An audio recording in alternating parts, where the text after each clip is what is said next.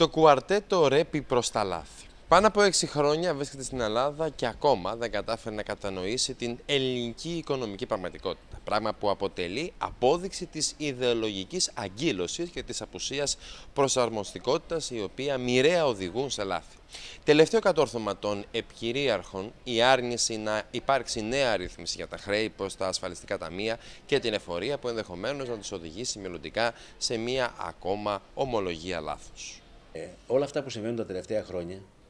ακόμα και αυτό που αναφέρεται σήμερα σε σχέση με τη στάση των δανειστών όσον αφορά τις ρυθμίσεις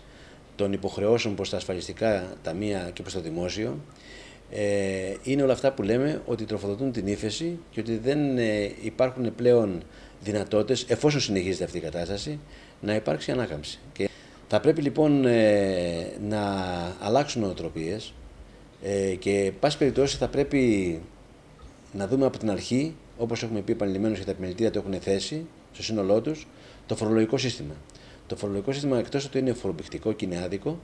δημιουργεί και τις προποθέσει εκείνες και τις συνθήκες ώστε οι οφειλέτες να μην μπορούν να ικανοποιήσουν τις υποχρεώσεις τους. Είτε λέγονται επιχειρηματίες, είτε λέγονται φυσικά πρόσωπα, δηλαδή νοικοκυριά. Μετά από 7 χρόνια βαθιάς ύφεσης, με απώλεια του 26% του ΑΕΠ και 1,2 εκατομμύρια ανέργους, κάποιος θα πρέπει να τους μάθει το ούκαν λάβει παρά του μη Η παραμονή σε κατάσταση ομοιρίας, με τους κινδύνους δεσμεύσεων ή κατασχέσεων περιουσιακών στοιχείων, ούτε παραγωγική οικονομικά είναι, ούτε φανερώνει την ύπαρξη κράτους, το οποίο ενδιαφέρεται για τους πολίτες και τις επιχειρήσεις, αλλά αντιθέτως κράτος που επιθυμεί να τους τιμωρήσει. Είναι πολύ περίεργο αυτό που αναφέρουμε σήμερα και συζητάμε, η στάση των δανειστών ε, που δεν επιτρέπει να γίνει μια συνολική ρύθμιση σε μια διαφορετική βάση ώστε να μπορέσουμε να βγούμε από τα διέξοδα. Τα επιμελητήρια έχουν πει επανειλημμένως. Η μόνη λύση είναι για να περάσουμε στην ανάπτυξη από την ύφεση, που είμαστε η μόνη χώρα που για 7η χρονιά ε, ταλαιπωρείται από, τις, ε, από τα αποτελέσματά της, η μόνη λύση λοιπόν είναι η ανάπτυξη και για να έρθει η ανάπτυξη θα πρέπει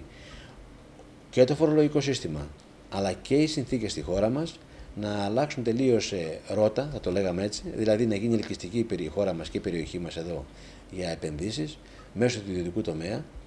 και βεβαίως ε, όλα αυτά που αναφέραμε προηγουμένως και οι υποχρεώσεις αυτές που υπάρχουν